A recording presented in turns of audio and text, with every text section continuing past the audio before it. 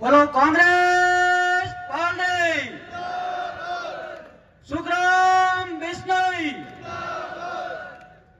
आज नामांकन भरने में जो हम एकत्रित हुए हैं, उस पे विराजमान हमारे आदरणीय मंत्री जी, श्री सुखराम जी बिश्नोई साहब एवं मंच विराजे बुज़ुर्ग और सामने विराजे मेरे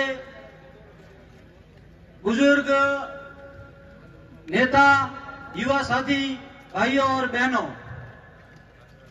बाकी बात लगभग सबने बता दी है। अपने तो सुखराम जी को 2008 से मेहनत करते हुए मेरे जैसे युवा देख रहे हैं, बाकी बुज़ुर्गों को जो प्रधान थे, सबसे सबको पता है, इनकी जो कार्यशैली है काम करने की, वो हमें 2008 से सभी को पता है। तुरंत फ़ोन उठाना, तुरंत जवाब देना, वापस फ़ोन करना कि ये तेरा काम हो गया है। जो भी आप विराजे हैं और जो नहीं आए, गाँव में बैठे हैं, उनको भी भरोसा है कि हमारे कोई भी काम बढ़ गया। आधी रात को भी सुखराम जी फ़ोन उठाएँगे। सुखराम जी इलेक्ट्रिसिटी में फ़ोन करेंगे। सुखराम जी नहर वालों को फ़ोन करेंगे। सुखराम जी थाना में फ़ोन करेंगे। बाकी कोई करने वाला नहीं है। ये सभी को पता है। सभी को मन में विश्वास है कि हमारा काम बढ़ गया। तो रात को दो बजे भी सुखराम जी फ़ोन करेंगे। बाकी कोई करने वाला नहीं है। जो भी खड़े हुए हैं सामने, भारतीय जनता पार्टी से और जो निर्दलीय की बात कर रहे हैं, जीवाराम जी भी, सबने देखा हुआ है। उनकी भी कार्यशाली सबने देखी हुई है कि वो कैसे तो फ़ोन उठाते हैं, कैसे वो लोगों को जवाब देते हैं, सभी को पता है। जो यहाँ बैठा है, उनको पता है, गाँव में जो सुन रहे हैं, उन सबको पता है। और कितनी आसानी से सुखराम जी हमारा काम करते हैं, ये भी सभी को पता है।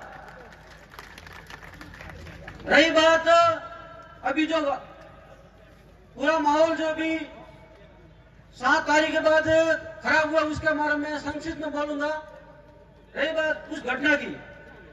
जो आदमी, लक्ष्मण देवासी जो हमारे आज बीच में नहीं है, उसके साथ जो घटना हुई, वो सभी ने कहा था, सभी जाति के नेताओं ने कहा था कि अपराधी की जाति नहीं होती है।